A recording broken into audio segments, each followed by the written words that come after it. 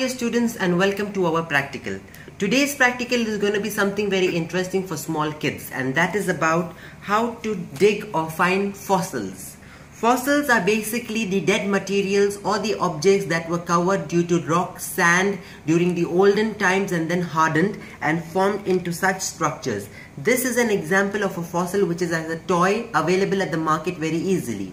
But what if you people would like to try to make as such things in home? It is very easy to do so and that is only using simple materials and they are using proper amount of water some flour you can use the cooking flour or corn flour with it some mixture of these two flours together that is corn flour and the wheat flour or any other common cake making flour with water. Once it has come into the structure of a dough what you can do is put any toy piece inside it and then cover it with it and let it to dry in the sun for about 3 to 4 days after drying it into the sun for 3 to 4 days, you can find the structure to be something hard as such we have got over here. I haven't made that practical yet but in future most probably I will be trying to do it. Now my aim is to open these things which is similarly made using the same material that is corn flour with the other flour and some equal amount of water and the toy was kept behind. Here we are using dinosaur fossil. So I will be giving one to my student so that she can do it for us while I will be doing the second one. What you need to do is we'll just open and see what are the materials present inside this. Make sure you have a paper or something kept down because it will prepare and create a lot of mess also.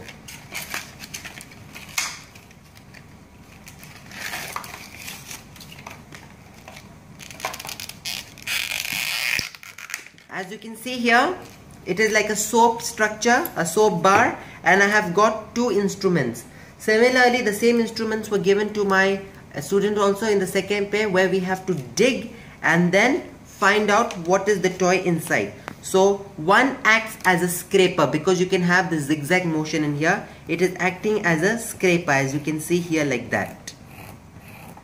And the second one is just to remove any excess so similarly, just to scrape out hard pieces after you have removed it.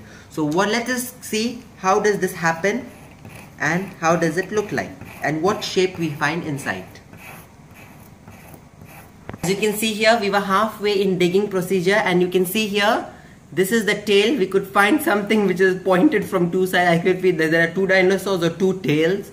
And for my student, you can see over here that there is only one tail to be seen now we don't know where it is, so let me do it more further and show you how does it look like. As you can see here, I'm just trying to excavate and I can find small object over here. I don't know, it looks like an alien, not like a dinosaur to me. But as you can see here, this is for my student. It came out and it also looks like it, it is a dinosaur and this is the shape we found. What you can do is wash it and then it actually glows in the light. It's a glowing dinosaur. Similarly let me try in here. Ah, okay finally it came out. This doesn't look like a dinosaur. It looks more like an alien to me. And oh no no no. This is a flying dinosaur. So this is a flying dinosaur. That's why it's like this.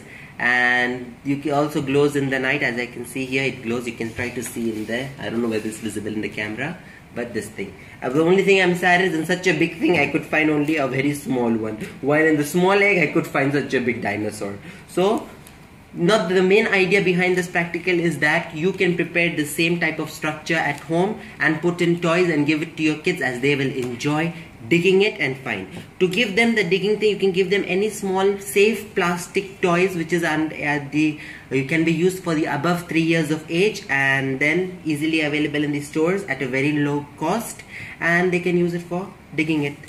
Thanks for watching the video